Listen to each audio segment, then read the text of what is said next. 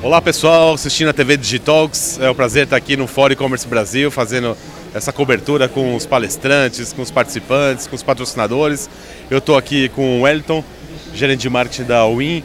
É, a Win que é uma mantenedora do, do projeto Digitalks também, está patrocinando o Fórum E-Commerce Brasil, com stand aqui atrás da gente. É, Wellington, bem-vindo ao Fórum E-Commerce Brasil Obrigado. e à TV Digitalks. Muito obrigado. Bom, é, o cara é especialíssimo em e-mail marketing. É, eu quero trazer um pouquinho da experiência dele, ele contar um pouquinho. O e-mail marketing é uma das primeiras mídias que, o, que o, a internet descobriu, né? A internet descobriu o banner, copiou do que fazia em revista, copiou do que fazia em jornal, e aí é, no meio do conteúdo apareciam os banners. E depois o, o e-mail entrou com toda a força. E me parece que até hoje o e-mail é uma grande força no, no, no, mundo digital, né? É, o que é legal é que todo ano o pessoal fala, ah, o e-mail marketing vai acabar. Todo ano, todo Tem ano. Tem essas previsões, né? Futurologia sempre acontece. E o que eu vejo é que a cada ano o e-mail marketing ele é o que tem a melhor taxa de ROI de todos os canais. Todo ano eu vejo o e-mail marketing melhorando, só que o fundamental foi a evolução tecnológica, né? Quanto mais o e-mail marketing evoluiu tecnologicamente, melhor foi o resultado. Então por isso que ele não morre. Ele, e ele é justamente, se a gente pensar em hoje em modelos de atribuição, que você tem o cliente passeando por todos os canais, o e-mail marketing é um dos principais canais, talvez não no, no last click, mas no first click. Porque ele faz uma referência mental, ele faz uma recorrência, é um canal de comunicação segura com seu cliente final. Então você usando o e-mail marketing com inteligência, ele começa a te fomentar uma série de gatilhos, uma série de indicadores que vão fazer com que o e-commerce e com que o seu cliente se fidelize mais e acabe convertendo.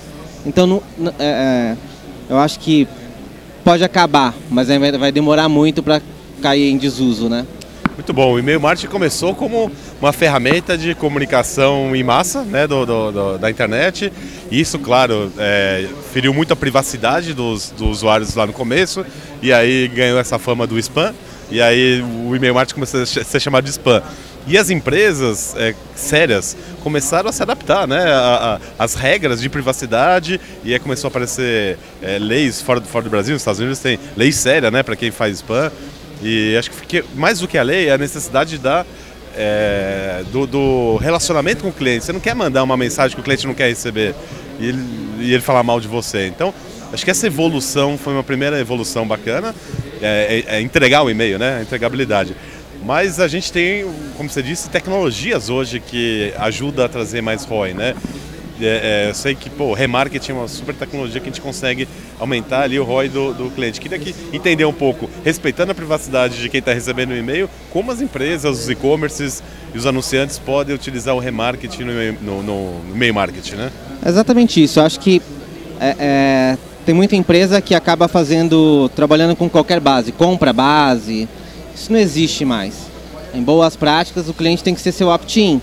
Ele tem que ser seu real cliente. A partir do momento que, e aí e aí vai da é relacionamento, equipe, é relacionamento né? e vai da equipe de marketing, do comercial, da sua estratégia de engajamento, fazer com que o seu cliente, é, com que o cliente vire opt-in, vire realmente se cadastre para receber as suas informações. Depois desse primeiro acesso, do primeiro e-mail, é, a maioria das empresas, é o caso da Win, né, que não é empresa de e-mail marketing, somente e-mail marketing, é, o mais interessante é você capturar todo o movimento do cliente no seu site. Então, é, é, realmente ter um algoritmo de recomendação de produtos e depois fazer o remarketing desse produto através do e-mail marketing. Respeitando, e isso você ganha o que a gente chama de janela, uma janela de oportunidade.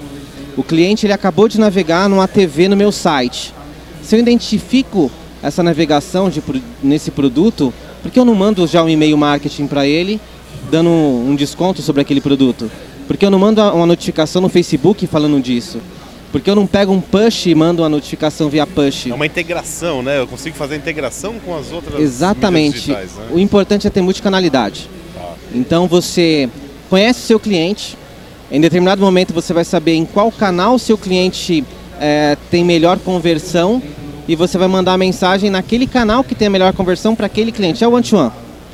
Eu acho que a, a a chave do futuro é realmente o one-to-one. O cliente não é mais bobo. Ele quer. Ele, ele não, faz parte de um grupo, de uma massa, né? Ele tem o seu perfil. É ele. E ele quer se, que as marcas se comuniquem com ele, com a linguagem dele. Né? Exatamente, né? o cliente é único. Acho que as empresas que tratarem seus clientes como únicos, né? É claro que você consegue perceber comportamentos de grupo e implementar em usuários é, individuais, mas cada quanto mais personalizado você for, maior a efetividade das suas, das, su, das suas soluções de marketing, né? Muito bom. O e-mail marketing bem feito, ele está muito o ROI dele está muito à frente de várias outras várias outras porque assim de uma certa forma ele é barato né o, o disparo é, é, é, barato não é uma mídia que você está comprando fora e sim se relacionando com o seu próprio cliente com a sua com a sua própria base né então ele torna muito mais efetivo quando você faz o cálculo do custo-benefício. Ah, né? Se você pensar no CPA do, do, do, do e-mail marketing, é baixíssimo. É, tem pesquisas americanas que apontam que ele tem ROI 40, né, às vezes muito mais do que isso.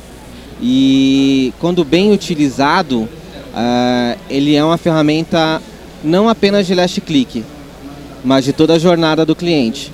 Ele vai acabar levando a informação para o cliente que às vezes ele não vai comprar pelo e-mail, mas ele vai ter uma referência é, mental e ele vai via direto, via CPC, via orgânico, ele vai voltar para o seu canal. Muito então, bom. Então é muito importante. Que legal. Wellington, obrigado pela, pela entrevista. Eu que agradeço. Espero que vocês tenham gostado aqui da, de uma aula rápida, mas uma aula aqui de, de e-mail marketing. E continue assistindo aqui a TV Digitalks, os outros vídeos aqui que a gente está fazendo diretamente do Fórum E-Commerce Brasil 2017. Valeu, Ayrton. Obrigado. Obrigado, viu? até a Valeu. próxima. Obrigadão.